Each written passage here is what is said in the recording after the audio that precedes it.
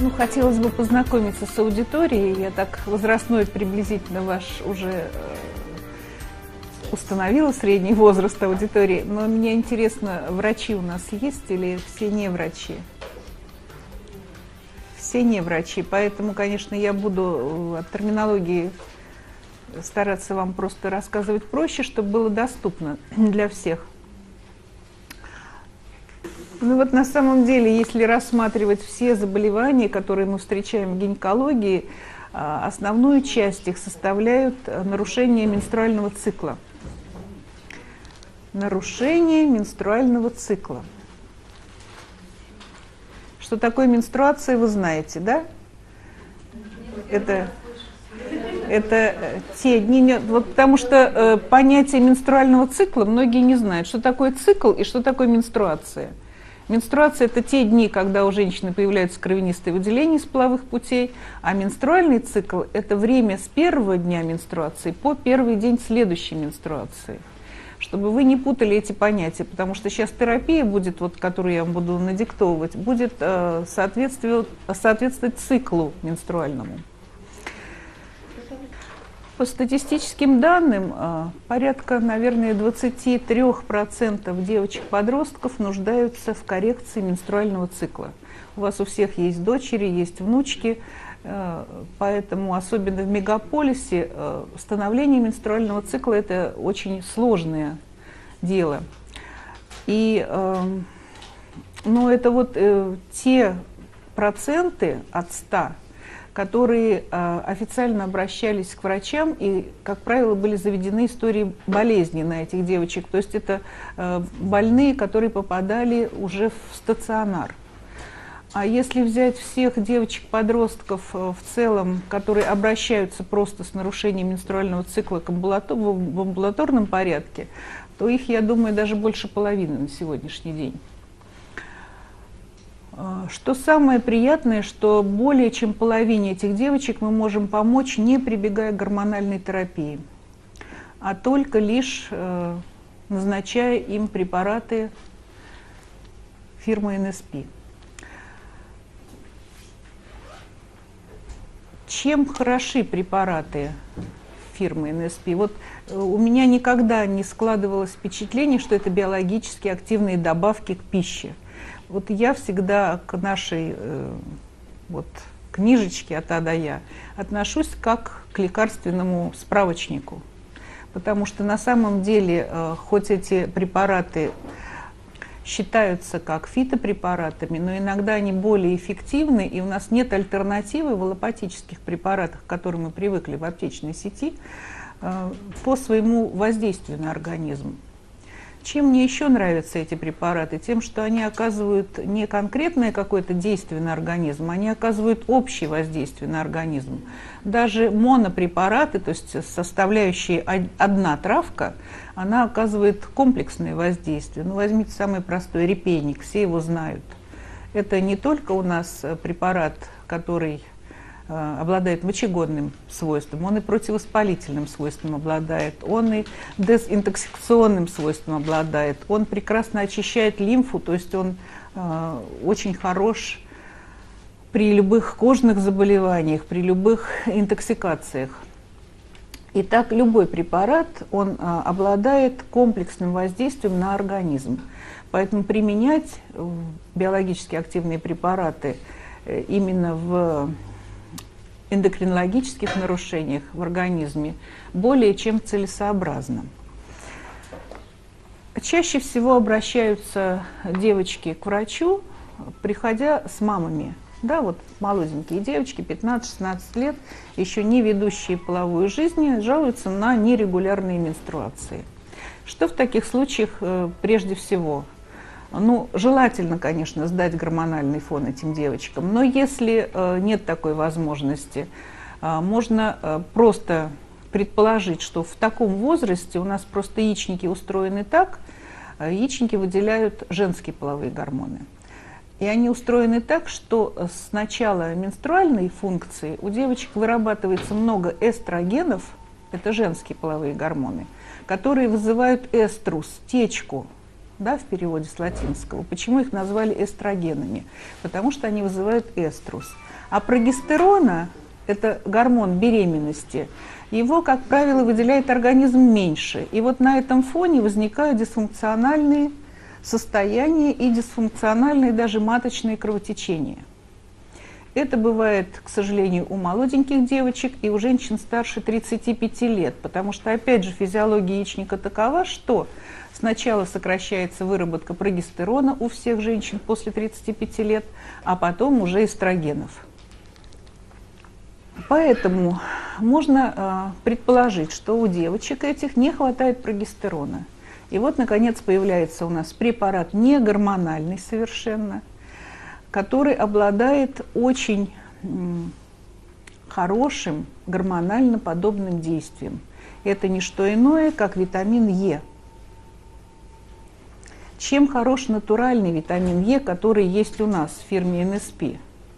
Тем, что он содержит разные фракции токоферолов. Вот если разложить составляющие, э, в принципе, токоферолов на сегодняшний день уже очень много известно порядка 20. Но уже доказано, что гамма и дельта токоферолы, это вам не нужно вникать, просто вот можете себе отметить, что гамма и дельта токоферолы это является растительным пропрогестероном, естественным пропрогестероном. Что значит пропрогестерон? В организме организм их перерабатывает, витамин Е, в наш родной прогестерон. Чем хорош этот вот витамин Е? Что касается магазинного, ну, магазин аптечного нашего, да, витамина Е, да, он красивенький, он в кругленьких красненьких капсулках, но это альфа-токоферол, это синтетический токоферол. Он не обладает, к сожалению, пропрогестероновым действием. Поэтому то, что назначают девочкам АИВИТ во вторую фазу или назначают э, беременным женщинам витамин Е, он свои функции как таковой не выполняет. Я уже не говорю о том, что э, синтезированный витамин Е, вообще все синтезированные витамины, не экстрагированные, вот наш витамин Е, он экстрагирован из растительных масел. Чем он и хорош? А э, синтезированный витамин Е, он, э, к сожалению, я уже не, не буду говорить вам, из чего его делают, но э, смысл такой, что э, усваиваются все синтетические витамины от 4 до 9 процентов. То есть сколько надо его съесть, этого альфа-токоферола, чтобы он как-то подействовал на организм. Биоусвояемость у синтезированных препаратов очень низкая. Поэтому витамины должны быть экстрагированы. В основном из растительного сырья их экстрагируют. Так вот, что нужно этим девочкам предложить? Им нужно во вторую фазу цикла. Вот этот менструальный цикл, он среднестатистический у нас 28 дней. Его делят на две фазы. Первая фаза 14 дней и вторая фаза 14 дней. Первую фазу обуславливают эстрогены, вторую фазу гестогены, в частности прогестерон. Естественно, когда нам нужно дать девочке этот прогестерон в виде витамина Е? Во вторую фазу цикла, то есть с 16 по 26 день цикла. С 16 по 26 день менструального цикла. Минимальная терапевтическая доза 400 МЕ в сутки. 400 МЕ, то есть по две капсулы два раза в день. Но вы, наверное, на лекции ходите и слышали, и знаете, и, может быть, из литературы знаете, что витамин Е очень хорошо сочетается с витамином С. Это витамины-синергисты, они э, усвояемость друг друга улучшают. И витамин С он э, предохраняет витамин Е от окисления, поэтому их лучше сочетать вместе. Витамин С нужно назначать по полграмма два раза в день вместе с витамином Е. По две капсулы два раза витамина Е, по пол таблеточки два раза витамина С. Сразу мамочкам надо сказать, что терапия это она самая физиологичная, но она длительная. Потому что мамочки приходят с претензией. Вот вы нам назначили лечение, оно не работает, оно не подействовало. Я говорю, как не подействовало? Ребенок витамины пил? Пил. Менструации были регулярные? Регулярные. Но вот мы пропили, а теперь у нее опять менструации нет, запаздывают. Поэтому сразу нужно сказать, что витаминотерапия циклическая, она назначается на 3, лучше на 6 месяцев. Организм девочки надо научить циклически работать. За один месяц такое вы не сделаете. Поэтому сразу, ну слава богу, там на 180 капсул, вот пусть все эти 180 капсул с витамином С девочка и принимает. Очень часто сейчас приходят молодые девочки э, с жалобой на отсутствие менструации. То есть менструация была, и вдруг ее не стало. Почему случается такое? Ну, чаще всего эти девочки хотят быть фотомоделями или просто моделями, и они усиленно худеют.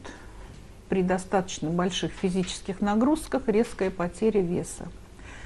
Вот еще в мою молодость врачи, гинекологи, эндокринологи не брались лечить дисфункциональные состояния, если в женщине было меньше 50 килограмм.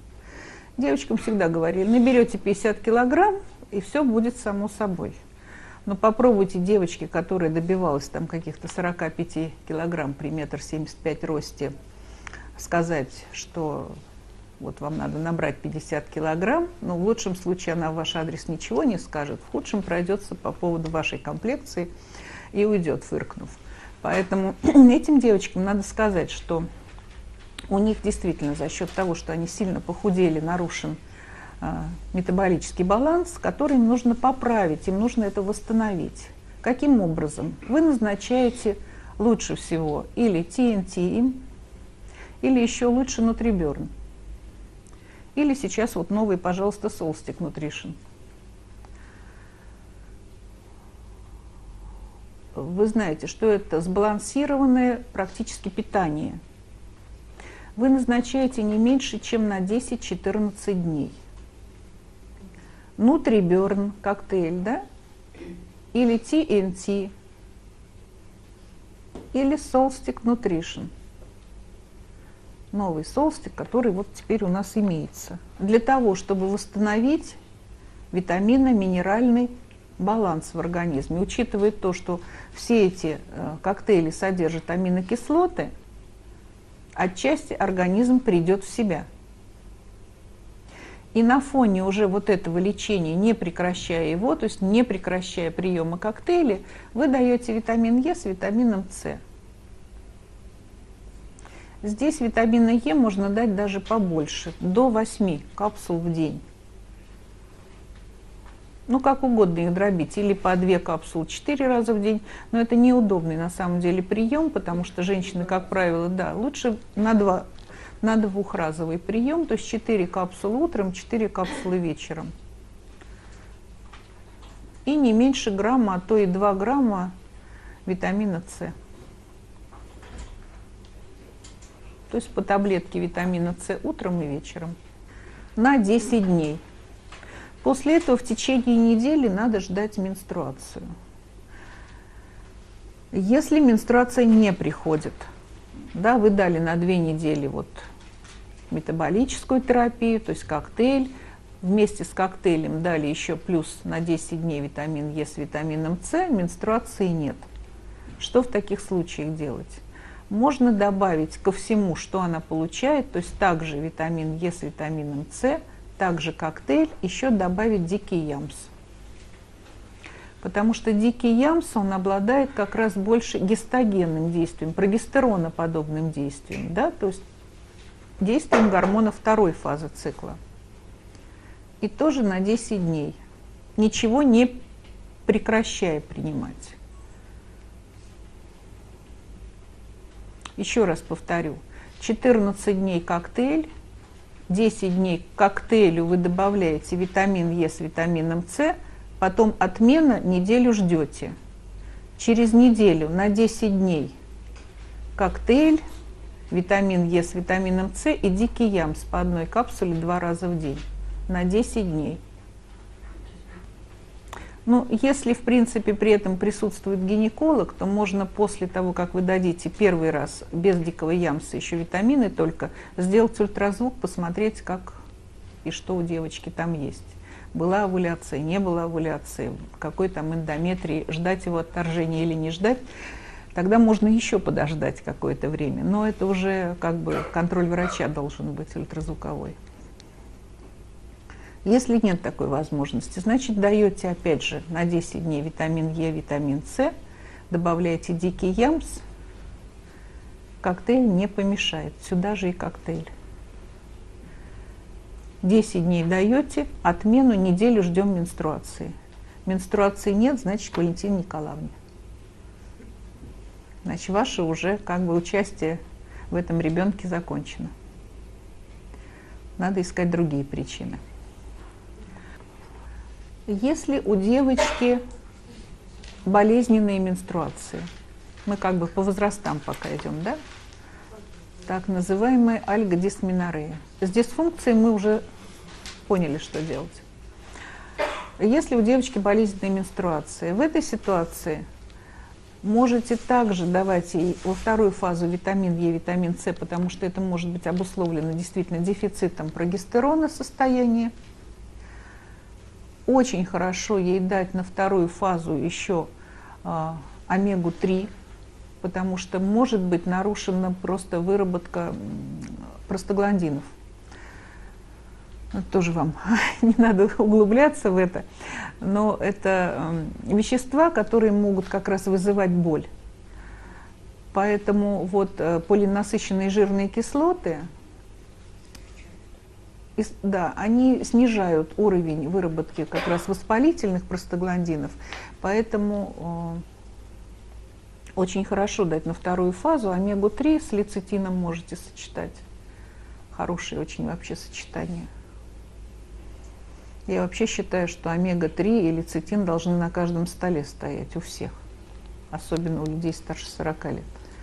Что еще этим девочкам хорошо дать? Еще есть у нас такой прекрасный препарат, как ликорайс. Солодка. Ликорайс. Да, солодка. Если у девочки э, боли вызваны именно воспалительным процессом, бывает такое, что э, девочка переохладилась, особенно во время менструации, да, где-то там посидела, где-то на попе с горки покаталась. Вот. И после этого у нее начались очень большие боли именно во время менструации. Потому что менструация обостряет хронический процесс, если он у девочки есть. Вот в этой ситуации очень хорошо снимает боли э, лакричник. Его можно дать длительно, до полутора месяцев. Да, лучше одну капсулу утром натощак. Ну, зависит еще, я всегда говорю, когда говорят о дозировке, э, смотрите на этого ребенка. Или смотрите на женщину, которая к вам пришла, да, потому что женщине 45 килограмм или женщине моей комплекции надо давать разное количество препаратов. Так же, как, собственно, как и аллопатические средства, да, вот все наши средства аптечные, они рассчитаны на средний вес 70 килограмм. Поэтому Отсюда тоже нужно как бы исходить. Начните с одной капсулы.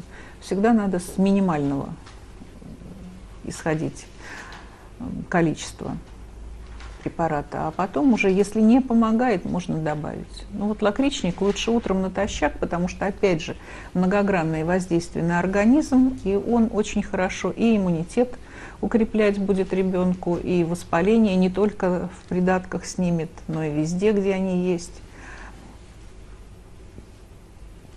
Потому что э, лакричник обладает очень многосторонним тоже воздействием, кортикостероидоподобные действия, то есть, ну, хороший препарат.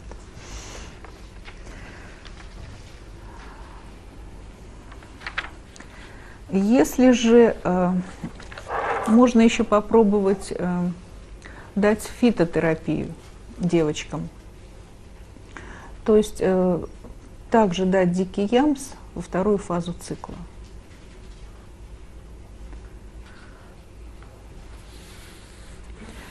Есть такое понятие гипоменструальный синдром. Гипоменструальный синдром – это скудные менструации. Тоже сейчас таких женщин достаточно много. Это говорит о чем? О том, что яичники достаточно плохо работают. Раз не работают. Почему э, мало выделений? Потому что эндометрий, то есть внутренняя выстилка матки, которая отторгается ежемесячно во время менструации, она недостаточно полнокровна, недостаточно э, толста, поэтому и, естественно, если этот слой тонюсенький и мало э, в нем сосудов, это и будет скудная менструация. Что в таких случаях хорошо сделать? показана циклическая витамин-терапия, которую мы с вами записали. Сюда бы хорошо еще в первую фазу цикла добавить фолиевую кислоту.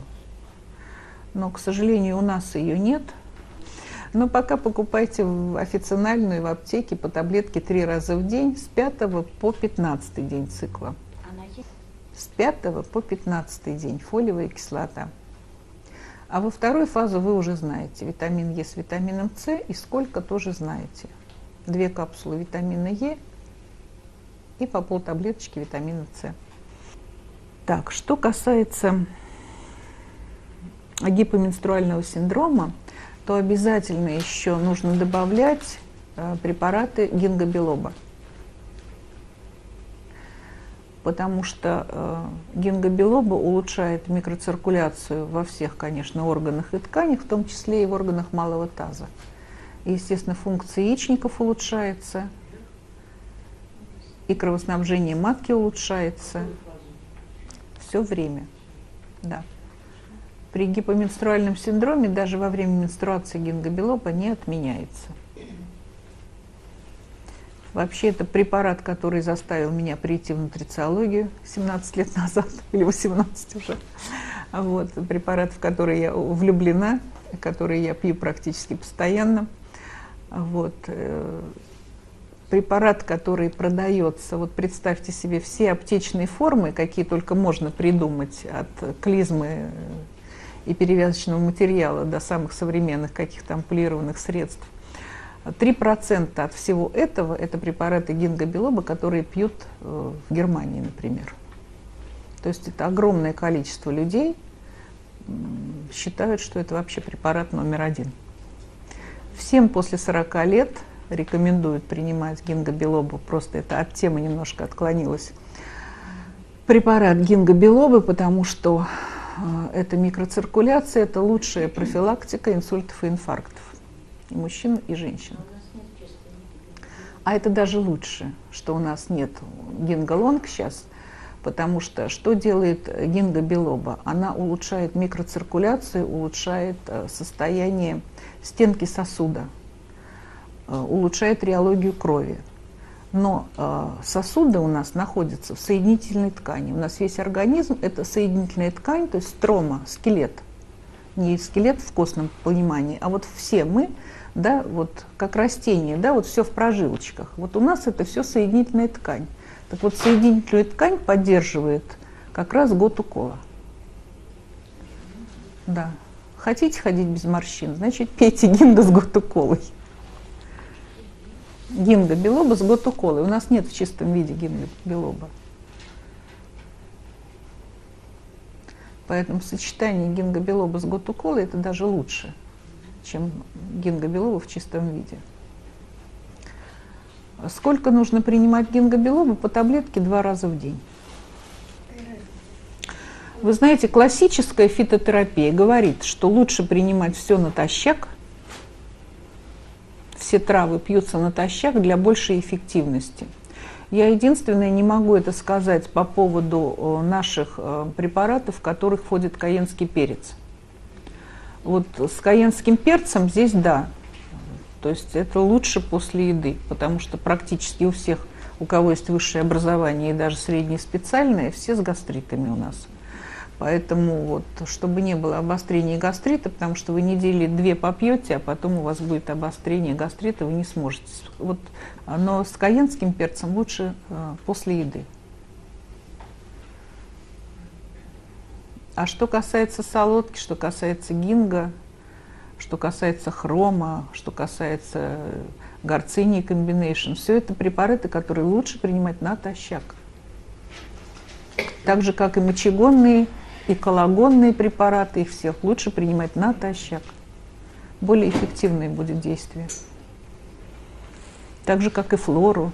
Ну, то есть э, очень много препаратов, которые рекомендуют принимать натощак. Вот то, что мы с вами говорили при гипоменструальном э, синдроме, то же самое можно и отнести, ту же терапию к э, терапии гипоплазии матки. Что такое? Это маленькая матка, да, их называют инфантильная или детская матка. Все то же самое можно назначить. То есть та же циклическая витаминотерапия, тот же дикий ямс – и препараты гингогутукола. В этой ситуации я бы еще добавила из трав, есть у нас такая замечательная тоже э, добавка, как ее, ну, препарат, FC с Донква. FC с Донква при гипоплазии, да, при детской матке, при инфантильной матке.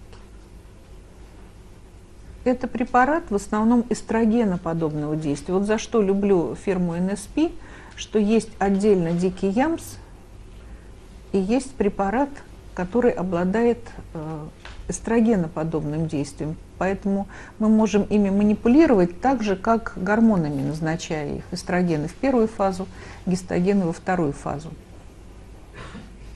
Эфсиздон-ква нужно так же, как фолиевую кислоту, с 5 по 15 день цикла назначать. Если женщина худенькая, то достаточно одной капсулы. Если больше 60 килограмм, по одной-два раза в день.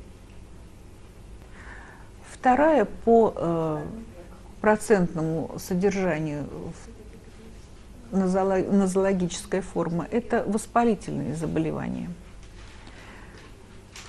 Воспалительные заболевания чаще всего, конечно, это придатков, реже матки – они бывают острые, когда это боли внизу живота, высокая очень температура,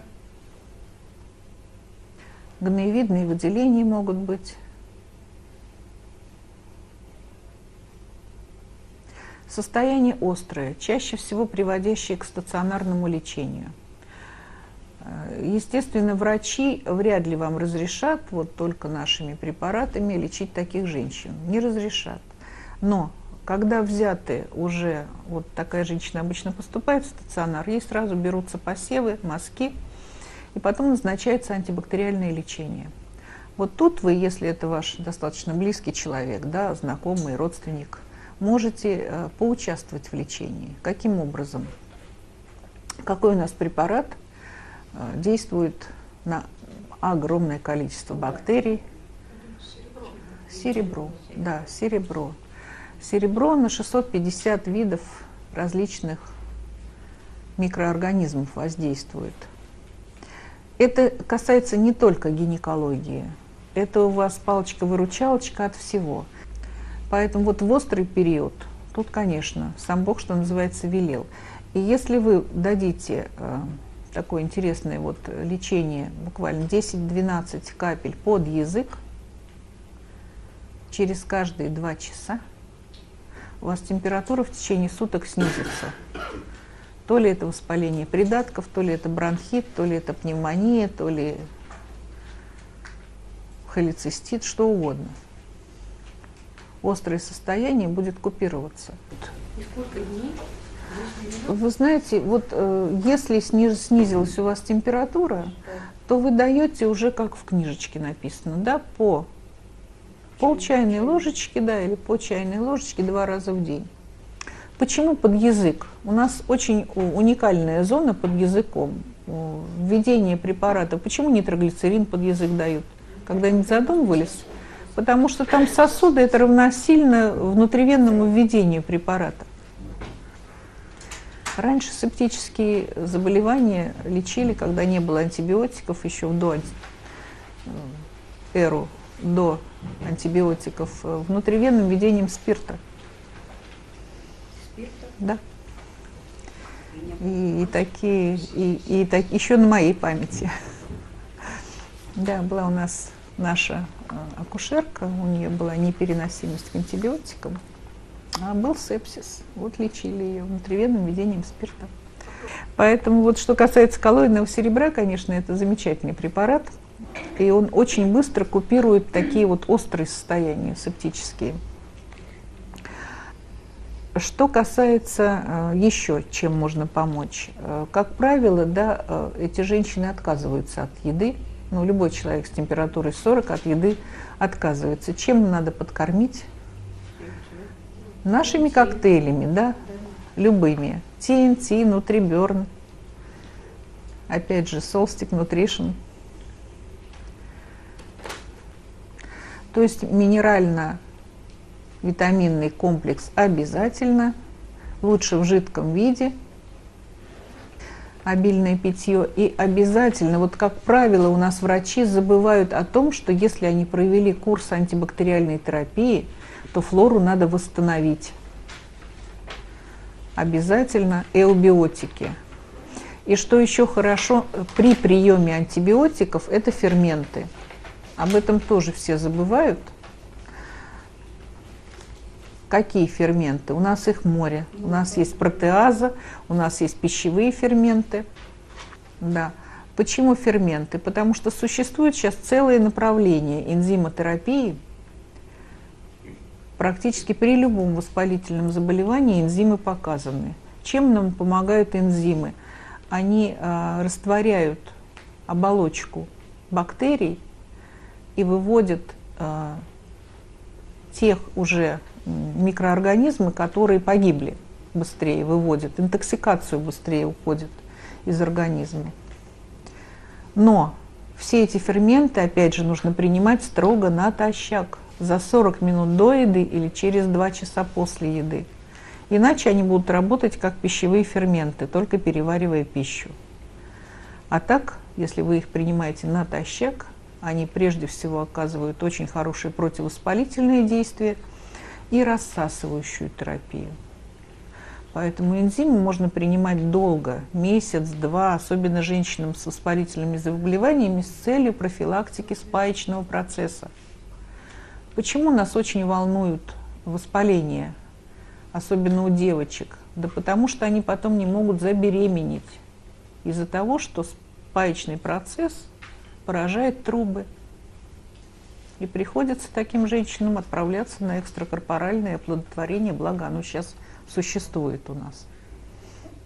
Поэтому в острый период, еще раз повторим, да, коллоидное серебро на 2-3 дня, энзимы с первого дня, коктейли, конечно, с первого дня. Коктейли как питание и эубиотики сразу после курса антибиотиков. Почему одномоментно не назначать? Потому что ну, будут убиваться теми же антибиотиками. Это что касается острых воспалительных заболеваний. Но гораздо большую группу составляют у нас хронические воспалительные заболевания. А вот здесь я преимущественно лечу как раз нашими препаратами НСП я уже смешно сказать, с появлением наших препаратов беременным вообще антибиотики не назначаю. Никогда. Может, меня кто-нибудь за это ругает, но сейчас не назначаю. У нас есть замечательный препарат, который называется, я говорю, это по созвучию подарок для акушеров-гинекологов, да, паудеарка. Препарат уникальный. Почему? Потому что он убивает бактерии, грибы, вирусы. Еще его называют лопачо, в переводе это вообще кора муравьиного дерева.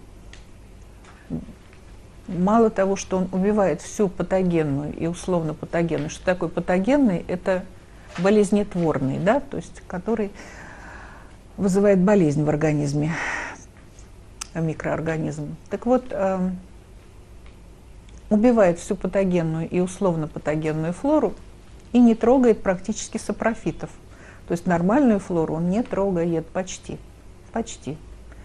Потому что очень много лет уже этим занимаюсь, смотрю э, посевы, и чуть-чуть титр снижается лактобактерий. но не намного. Он же еще и является иммуномодулятором. Чем он хорош? Мягкий иммуномодулятор.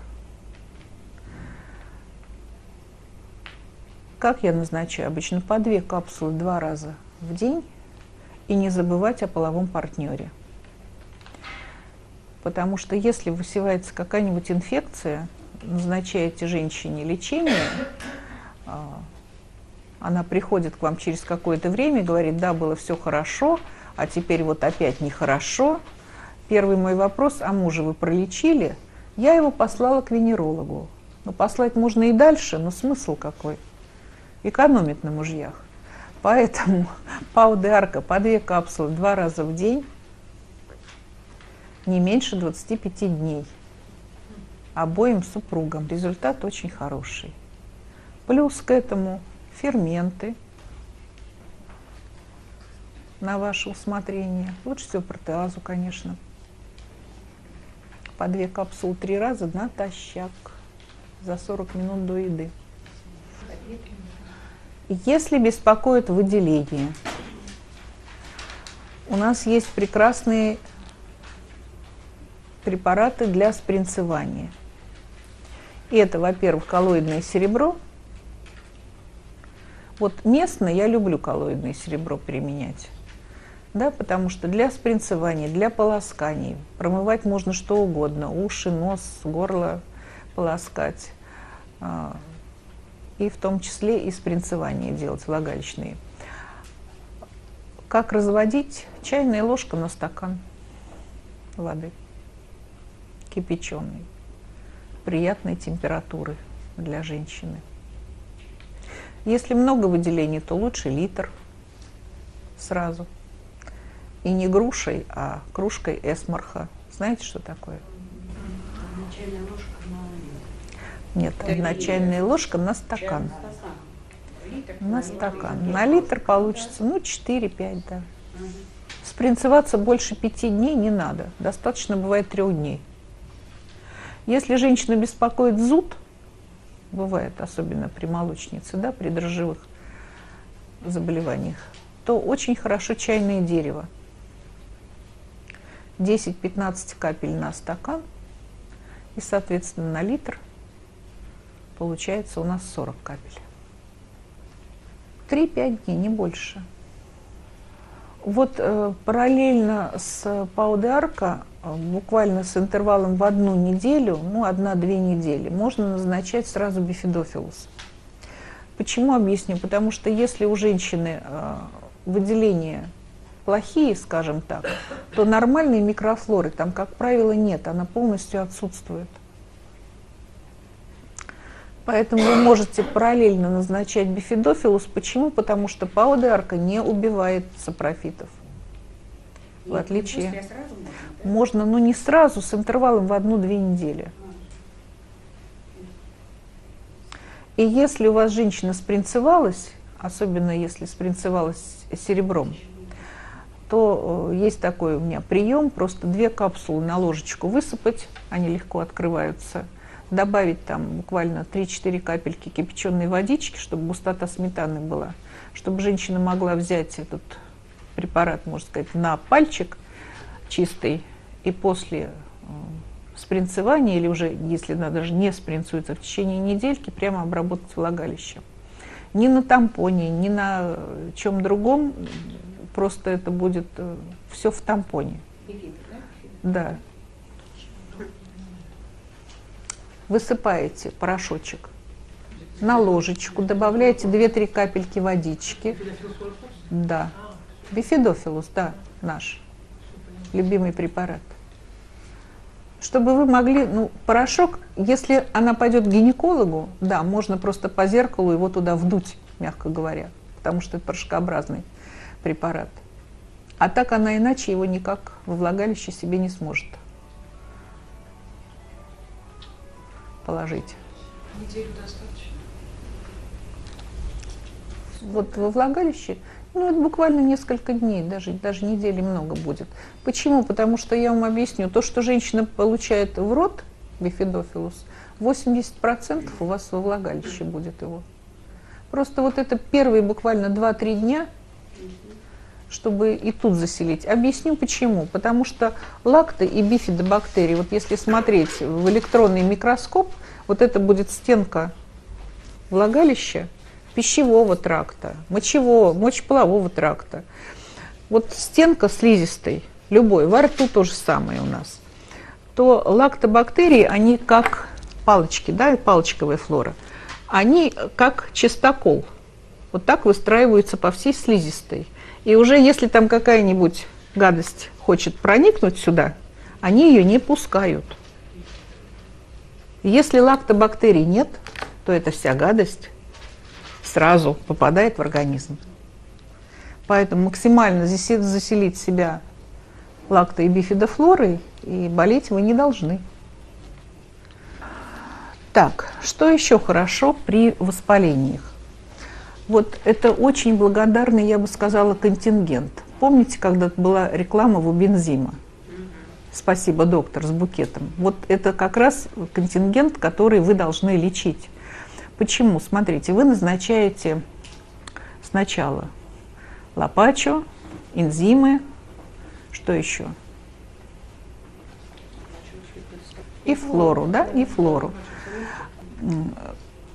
Вот этим пациенткам нужно расписать терапию на 3-4 месяца. Если э, орган воспален, яичники воспалены, функция гормональная у них нарушена, конечно, нарушена, то есть гормонов будет меньше. То есть на реабилитацию вы можете дать ей циклическую витаминотерапию или циклическую фитотерапию. И плюс дать препараты гинго-готукола. Почему? Потому что микроциркуляция в малом тазу улучшается, воспалительный процесс, естественно, и все недоокисленные продукты все лучше выводятся. Согласны? Второй месяц у вас приема продолжается еще прием бифидофилуса.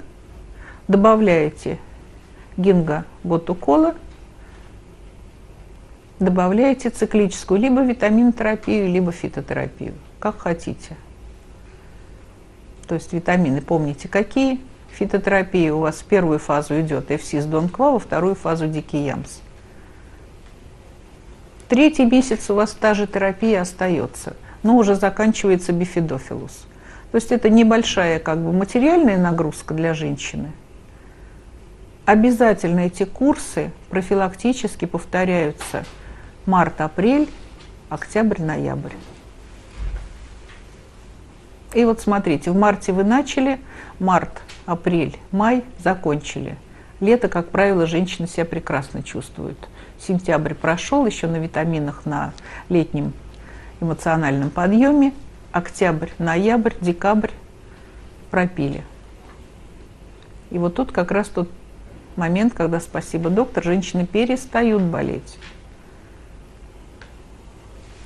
А у нас как женщин лечат? Антибиотик, не помог, опять антибиотик, не помог, опять антибиотик. Сейчас ни один уважающий себя доктор не должен назначать третий курс антибактериальной терапии, если первые два оказались неэффективными. К сожалению, антибактериальная терапия сажает иммунитет и нарушает настолько микробиоциноз в организме, что потом годами их восстанавливать приходится. Годами. Предменструальный синдром, интересно? ПМС, да, модный сейчас диагноз такой. Много у нас его, к сожалению, тоже. На самом деле ПМС бывает разные. Бывают отечные формы, бывают даже психогенные формы бывают. В принципе, причина одна – дисгормональные состояние. Опять же, нехватка того же прогестерона, поэтому смело можете назначать витамин Е с витамином С во вторую фазу этим женщинам. Или дикий ямс, или и то, и другое. Плюс, э, в зависимости от формы этого предменструального синдрома, либо это э, раздражительность, да, чаще всего – раздражительность, нервозность. У вас есть прекрасных два седативных препарата. Это восьмерочка и HVP, да? Ну, в зависимости, я всегда считаю, если женщина за рулем, то лучше дать ей утром HVP без снотворного эффекта, а вечером восьмерку. За 10 дней до ожидаемой менструации. То есть практически со второй фазы цикла вы начинаете витамин Е с витамином С и сразу даете седативные препараты. Очень хорошо дать полиненасыщенные жирные кислоты в этот же момент. То есть омегу-3, лецитин. Что касается отечной формы ПМС, у нас есть с вами замечательный препарат пептовид. Пептовид. Аминокислоты. Благодаря содержаниям в них таурина, это та аминокислота, которая и вообще белки в целом, они выводят лишнюю жидкость из организма. То есть вот при ПМС происходит перераспределение жидкости в организме. Она уходит в ткани. И чтобы вернуть в кровеносное русло и заставить ее выделиться, вам нужны белки. Пептовид. По две капсулы три раза в день. За 10 дней до ожидаемой менструации. Что касается вашего вопроса, миом матки. Ну, э, мы будем говорить не только о миомах матки. А, это вообще гиперпластические процессы. Гиперпластические процессы. Что это значит? Это а, гиперплазия эндометрия. Что такое эндометрия, я вам уже объясняла, что это такое. Слизистая матки, конечно, которая отторгается, да? Вот она не должна разрастаться более, чем нужно. Вот сначала она разрастается больше, чем положено, а потом возникают полипы эндометрия. Да? Что такое полип, наверное, все знают. Полипы бывают и в матке, и в кишках, и в гортани, и где угодно. Что такое полип? Представляете, да? Не представляете? Ну, наросты, наросты слизистые. Бородавка, но внутри, скажем так. Что еще к гиперпластическим процессам относится? Эндометриоз – ну что такое эндометриоз? Это когда вот слизистая а, клеточка, которая вот является слизистой матки, эндометрии, попадает в другие органы и ткани.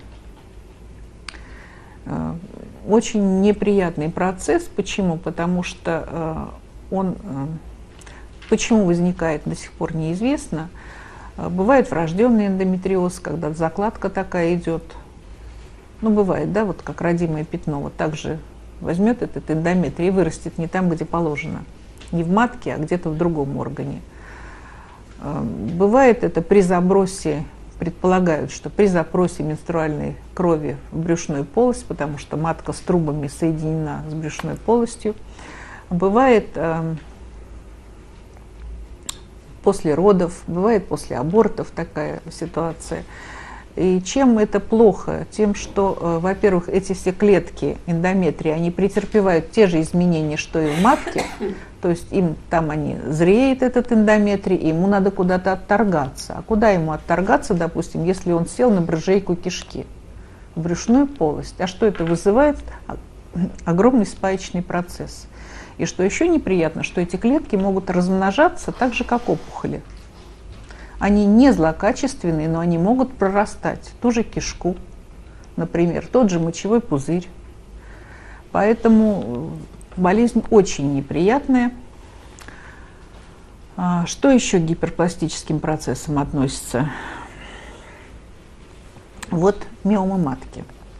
Миома матки. И как бы отдельно стоящие фиброзно-кистозная мастопатия и рак молочной железы тоже гиперпластический процесс. И вот вся эта группа заболеваний, которые, можно сказать, э,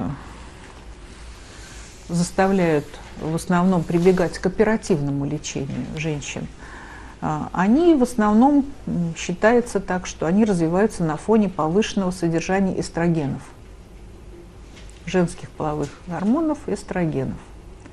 То есть, опять же, нехватка прогестерона, раз – И, к сожалению, вот у нас из аллопатических препаратов, которые могут снизить уровень эстрогенов, до сегодняшнего времени используется только тамоксифен. Препарат, у которого в побочных действиях написано, как побочное действие препарата, возникает вторично а, рак прямой кишки и матки. Побочное действие, такое легкое побочное действие. Да. Но тем не менее, вот до сих пор, вот, ну, буквально на прошлой неделе у меня была женщина, которую оперировали по поводу ЦР молочной железы, рак молочной железы у нее был, ей назначен был тамоксифен. А у нас есть с вами прекрасный препарат, индолтрикарбинол, совершенно безвредный, совершенно без всяких противопоказаний и без всяких побочных действий. Производные крестоцветных и ламинарий, индол-трикарбинол. Ешьте больше зелени.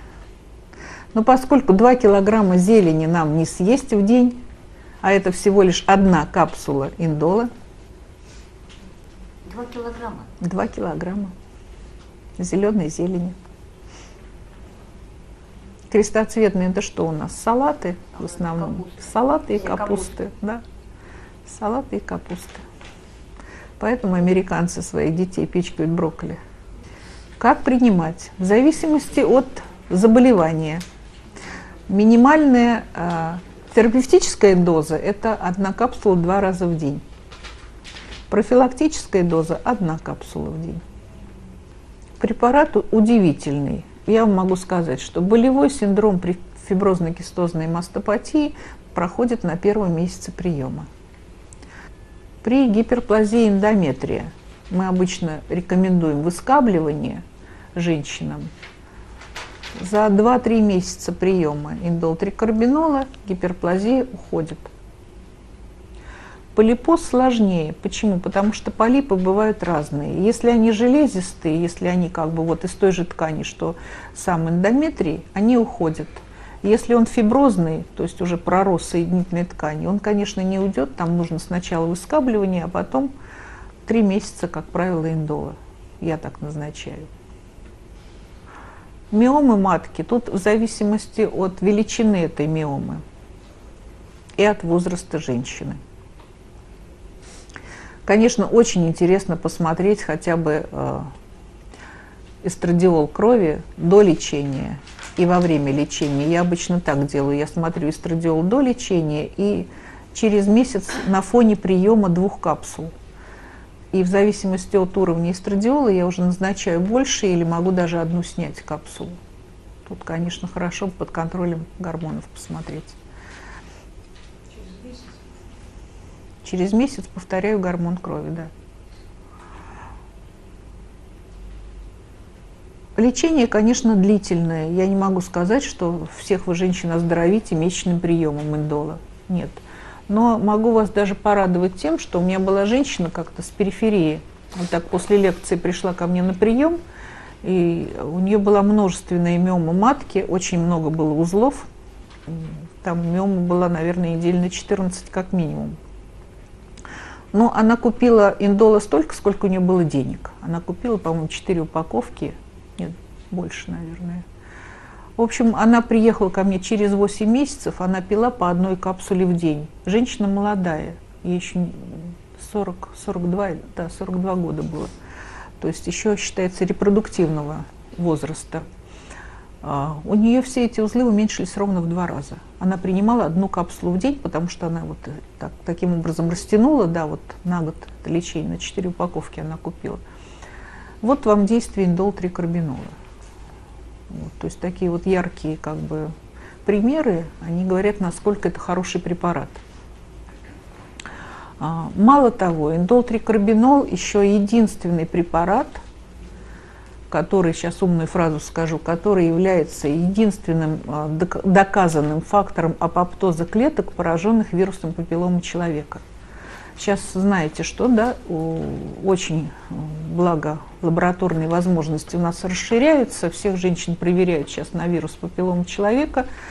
Э, их очень много, этих вирусов, уже типов, я не знаю, больше 200. какие-то являются онкогенными, какие-то не онкогенными. Что значит онкогенный, который вызывает рак шейки матки? Вот э, единственное, что заставляет эти клетки э, фактор апоптоза, ну, уничтожаться, да, это как раз индол-трикарбинол. Никакие пока вот специфического лечения противовирусного, именно против э, вируса папиллома человека нет. Очень много голов ученых работает над этим, как бы, над лечением этого заболевания, но пока вот единственное доказано, что именно индол-трикарбинол является тем препаратом, который воздействует на клетки, пораженные вирусом папиллома человека, заставляя их умирать. Ну и вот здесь не знаю насчет полового партнера, потому что э, как-то вот о мужчинах нигде не говорится. Но я думаю, что не знаю, насколько целесообразно их лечить, но э, гарантировать, что не будет э, повторного заражения, конечно, мы не можем. Да, то здесь уже просто защищенный секс и никак иначе. И никак иначе. Что касается хронических воспалительных заболеваний, это я вам сказала, да, что мужчин надо лечить тоже обязательно. Вот что касается миом матки, да, то, что вы спрашивали. Оперативное лечение здесь зависит от того, какие узлы, где они находятся, какую они симптоматику дают и целесообразно ли лечиться консервативно или оперативно. Это уже решает доктор. Еще очень а, осторожными вам нужно быть в плане лечения фиброзной кистозной мастопатии. Никогда не беритесь за лечение, если это отдельное какое-то уплотнение в молочной железе.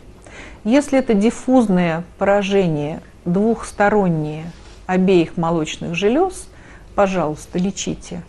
Э, у вас еще есть замечательный к этому э, препарат, добавить к индолтрикарбинолу, у вас есть брест-комплекс. Да, брест-комплекс.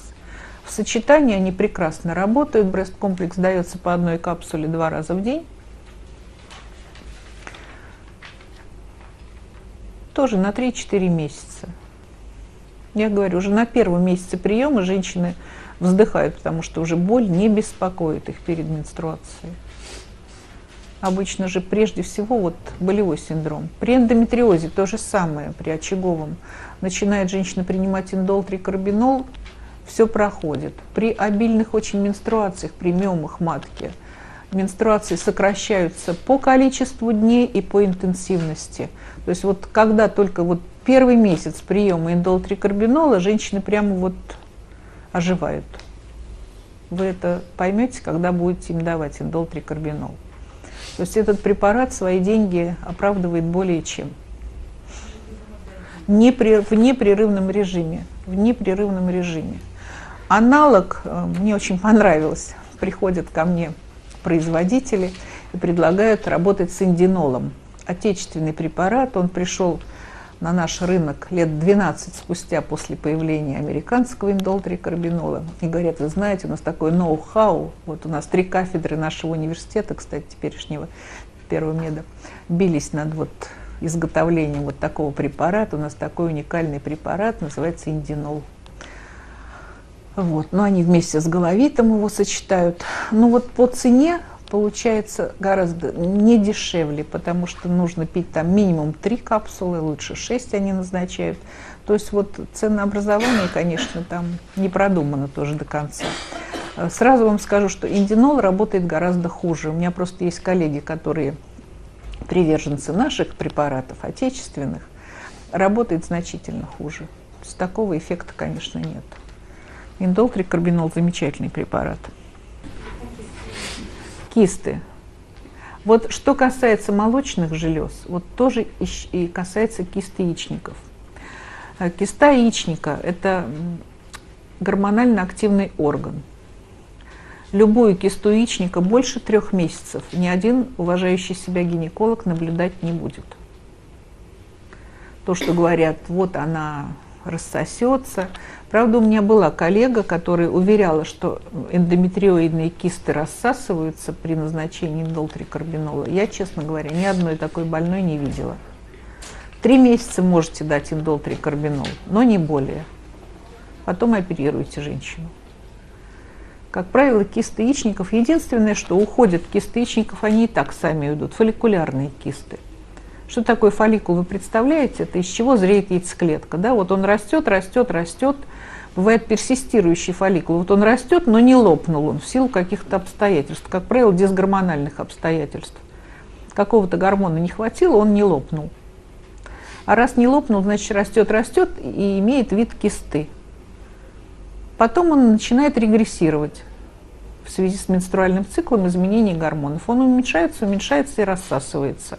Вот такие, да, кисты, ну их называют все равно киста, фолликулярная киста яичника, да, из фолликула выросшие. Они гладкостенные, они небольших размеров, бывает даже больших, бывает до 6 сантиметров. Ну вот если такую женщину, наверное, каждый гинеколог вам скажет, если ее на кресле посмотреть в, момент, когда перерастянут фолликул, он под руками эта киста может лопнуть и уйти. И ничего с женщиной не случится, если только в этот, э, ну как бы в капсулу кисты не попадет сосуд, который даст кровотечение внутреннее. Они лопаются, бесследно рассасываются, жидкость всасывается в брюшной полости и все. А все остальные кисты, даже мы смотрим, что кисты тонкостенные, но если есть пристеночный компонент, как мы называем, да, ну вот киста, а здесь какая-то шероховатость на стеночке, только оперативно. Потому что э, рак яичника – это заболевание молодых женщин. И женщины сгорают за несколько месяцев – и сколько угодно таких случаев. И даже девочки. Поэтому вот с кистами яичников не играйтесь. Так же, как и с молочной железой. Тоже гормонально зависимый орган, не надо. Лучше покажите специалисту. Ну, еще, может быть, имеет смысл, я не знаю, бывают у вас такие, ну, наверное, встречаются такие – посткастрационный синдром еще. Что такое кастрация? Посткастрационный синдром. Особенно вот у молодых женщин, вот как раз которых оперируют по поводу рака яичников, им удаляют все, как правило. То есть яичники удаляют полностью, и э, либо лучевую терапию проводят с тем, чтобы... Ну, лучевая есть кастрация, да, практически убивают лучами всю ткань яичника, или хирургически женщины оперируют, убирают яичники. А, и чем женщина моложе, тем у нее тяжелее это постоперационное состояние. Иногда настолько тяжелое состояние, что женщины из-за этих приливов готовы жизнью покончить. Такие тоже случаи, к сожалению, случаются, что снимают с женщин и, как правило, онкологи боятся им давать гормональную заместительную терапию. А вот мы как раз можем дать им свою терапию, да, потому что фитотерапия в таких ситуациях не противопоказана. И в этой ситуации лучше всего дать дикий ямс. Дикий ямс. Иногда можете начать с 6, с 8 капсул в день. Главное снять у нее вот эти приливы. И когда у женщины э, это состояние ее общее улучшится, вы можете потихонечку снять, довести ее до двух капсул в день. Количество капсул уменьшать, там, допустим, по одной капсуле в три дня убирать. А терапия это пожизненная. Пожизненная. Как давать дикий ямс? 20 дней даете, 10 дней перерыв. Если женщина не выдерживает этих 10 дней, пусть этот перерыв будет короче. Со временем удлинять его. Сначала 3 дня, потом 4, потом 5 дней. Вот перерыв между приемами. Почему надо обязательно делать перерыв? Почему я никогда циклическую витаминотерапию или фитотерапию не даю в непрерывном режиме? Серьгу повесили, вы ее сколько-то слышите, потом вы ее не слышите. Рецепторы уже привыкают к этому давлению. То же самое с органами получается и тканями. Одну дозировку даете, даете, даете, чтобы потом получить то же действие, нужно добавлять, дозировку увеличивать. Чтобы дозировку не увеличивать, вот такие трансмиссирующие курсы. Это касается любой терапии. То есть вот вывести на такой режим, там, допустим, или 25 дней. Почему я обычно беру 30 дней? Потому что легче всего женщинам отслеживать календарные дни. Вот она, допустим, с 1 по 10 не пьет, с 10 по 30 пьет. Или с 1 по 5 не пьет день. То есть вам ваше лечение нужно приблизить к физиологическому ее состоянию. А менструация всегда наступает на спаде всех гормонов. Почему вот я говорю, и циклическую витаминотерапию, и фитотерапию не даю. Вот с, вы обратили внимание, да, с 26 по 5 день ничего не назначаю. Потому что мы тем самым следуем как бы физиологии, вот как оно должно быть. То же самое и с посткастрационным синдромом. Естественно, тут очень хорошо добавить восьмерку – и тоже можете дать в большой дозировке, можете 4 капсулы смело дать. Хуже вы не сделаете. А потом потихоньку снять, оставить, допустим, только на ночь.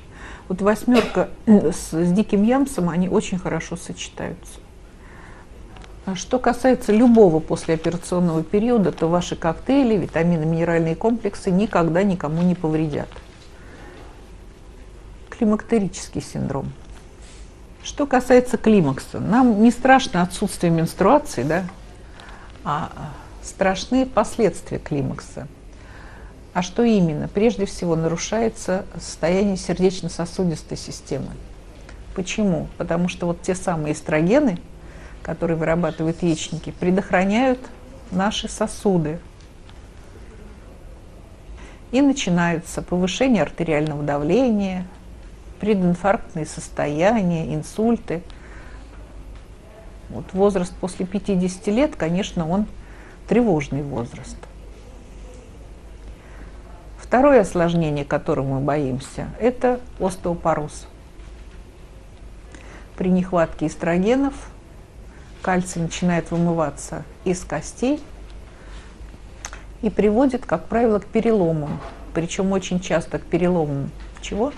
Шейки бедра, и женщина становится инвалидом. Хорошо, если она найдет возможность эндопротезирования, да, то есть заменить сустав. А если нет, то это, как правило, очень длительный процесс. Это очень длительный процесс заживления. И э, третье осложнение, которого мы боимся, это недержание мочи тоже связано с дефицитом эстрогенов. Почему? Потому что вот э, сам сфинктер мочеиспускательного канала, который в мочевом пузыре, не наружный, а внутренний сфинктер, он э, находится на так называемом треугольнике Лангенгарса, такой треугольничек, там особая ткань. Эта ткань напичкана как раз э, рецепторами, которые, э, тонус, который держит именно эстрогены. Что касается заместительной гормонотерапии, очень к ней неоднозначное отношение врачей. Вот как-то в старой Европе уже отходят от гормональной терапии. У нас, конечно, это все растягивается. У нас где-то медицина отстает ну, лет на 20 точно. Было на 30, сейчас может быть на 20. Э, конечно, фирмы, которые распространяют гормональные препараты, они очень активно их пропагандируют. Вот. Но э, ну, у всех разные к этому отношения, да?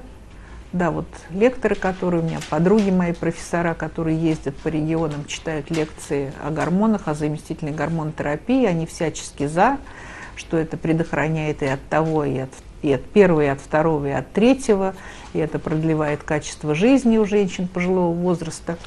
Но, э, тем не менее, ну не знаю, сами они пьют или нет. Я лично не пью гормоны. Вот, потому что дикий ямс, дикий ямс – это та самая любимая травка, которую, я считаю, всем надо пить в климаксе который предохраняет и от сосудисто от сосудистых нарушений и снижает уровень холестерина и не вредит, что самое. Да, у нас основная заповедь медицины какая всегда была? Не навреди, не навреди. Так вот, ямсом, конечно, навредить невозможно женщине. Нет, прерывистым. Почему же не прерывным? Я вам говорила, что надо приближаться к физиологии. 20 дней пить, 10 дней не пить. Вот. Пить э, нужно, ну, мне хватает одной капсулы. Одной, на, на ночь я пью. Что касается остеопороза, но здесь вот так, здесь не обязательно дикий ямс в чистом виде, да?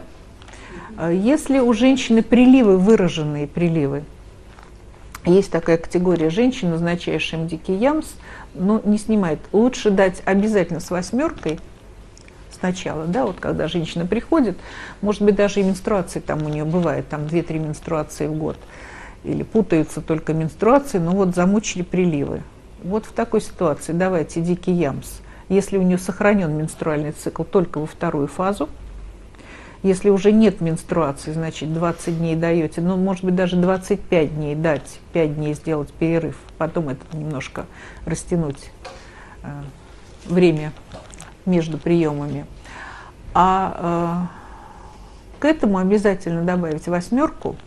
Причем первый раз, когда вы даете дикий ям с восьмеркой, надо так, чтобы вот этот промежуточный период между ямсом, перерыв, был перекрыт восьмеркой. То есть если вы дикий ям сдаете на 20 дней первый раз, то восьмерку дайте обязательно на 30 дней. Понятно, да? Чтобы вот перекрыть этот промежуток без дикого ямса восьмеркой.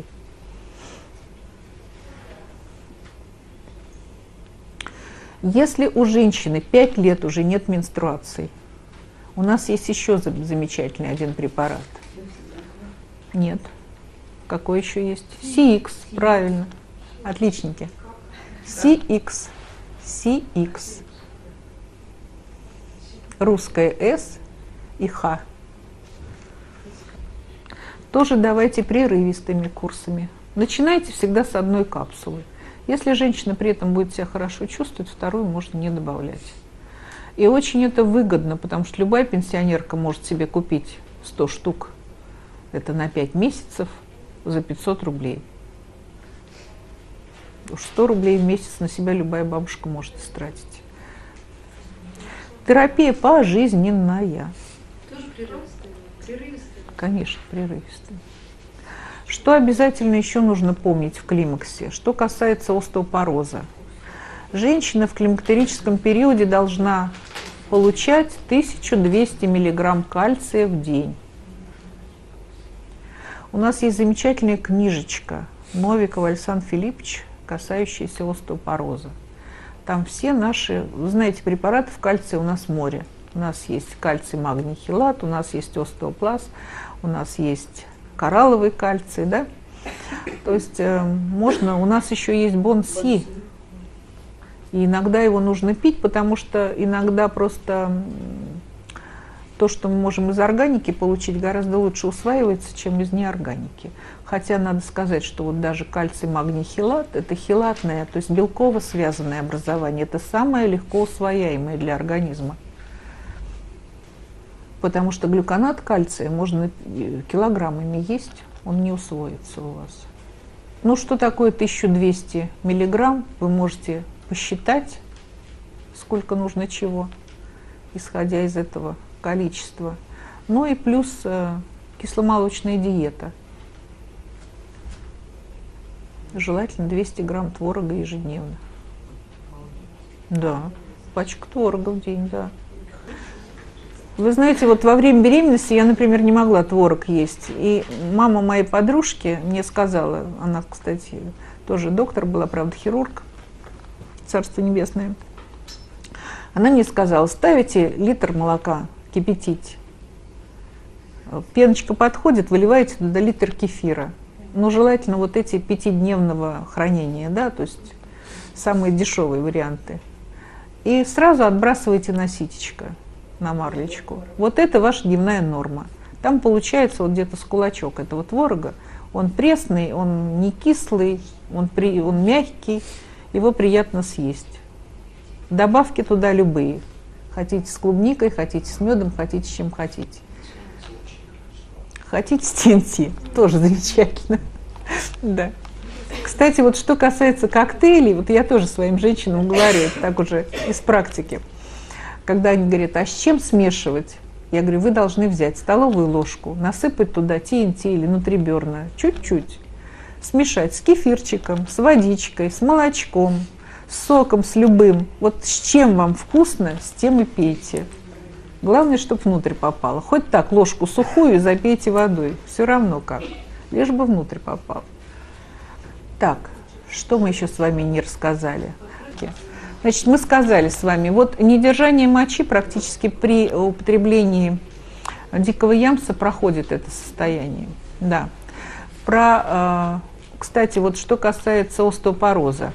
Э, пока еще женщины молодые, вот американки начинают это профилактировать с 30 лет, когда у них хорошая гормональная еще насыщенность, и они занимаются активно спортом. И при этом у них кальциевая диета плюс препараты кальция. Они накапливают кальций, особенно это вас касается. Вот девушки в зеленой кофточке, да, потому что вы очень э, изящная женщина. А вот такие статуэточки, как вы, вот у них, как правило, вот с остеопорозом, да, вы не дружите. Поэтому нужно обязательно э, кальций депонировать. Да, то есть физическая нагрузка – плюс кальций, плюс кальциевая диета. С 30 до 35 лет они все этим занимаются, а потом просто поддерживают, потому что после 50 кальций только вымывается, он уже не накапливается в костной ткани. Так, что мы еще про климакс не сказали? Наверное, все сказали. А, профилактика сердечно-сосудистых заболеваний, об этом уже сегодня говорила. Гингобилоба год укола, март-апрель, ноябрь октябрь-ноябрь, а лучше больше и дольше. Так, вопросы ваши. Вы знаете что? Значит, мне гинеколог сказал, что якобы вот это еще недержание мочи бывает только так, тогда еще, когда рвется какая-то связка природы, которая поддерживает, видимо, матку. Нет. При опущении стенок влагалища никакая связка там не рвется природа. Просто она растягивается.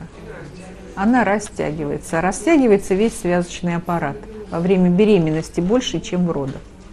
Вот. Просто женщина не носит бандаж, поэтому такое может быть. После родов нужно себя восстанавливать. Вот. Есть бандажи специальные, но главное это физические упражнения. Все упражнения на поднятие ног, пожалуйста. И самое хорошее простое упражнение при недержании мочи. Втянуть и расслабить задний проход. Сидя, лежа, стоя, в метро, где угодно. Скажите, а вот если им дом, вот понимаю, то ну, что? Может быть, сюда же мы гриппайн можем добавить? Да куда угодно можно добавить антиоксиданты. Антиоксиданты можно всегда добавить. Про эрозию? А эрозия шейки матки. Можно про эрозию спросить? Я считаю, что эрозию надо лечить лазером, лазеровой паризацией. И бывают такие воспалительного характера эрозии, но они, как правило, все-таки гормонального характера не рожавшим женщинам, почему лазер? Потому что э, не рожавшим женщинам тоже рекомендую, если они в ближайшее время не собираются беременеть. Почему лазер? Потому что гольмиевый лазер, он не оставляет рубца на шейке матки. Можно и не рожавшим женщинам, и рожавшим. Можете добавить, очень я люблю, кстати, при хронических заболеваниях э, воспалительных, я даю всегда кошачий коготь. Что? Кошачий коготь. А хроническим, да? Да, хроническим. И что касается кошачьего когтя, единственное, что он у нас с эхиноцеей вместе, поэтому, да, 10 дней каждого месяца можно давать. То есть не больше 10 дней в месяц можно дать. А недержание мочи, я сказала вам, и будете дикий ям спить, уйдет это. И зарядка. Спасибо большое. На здоровье.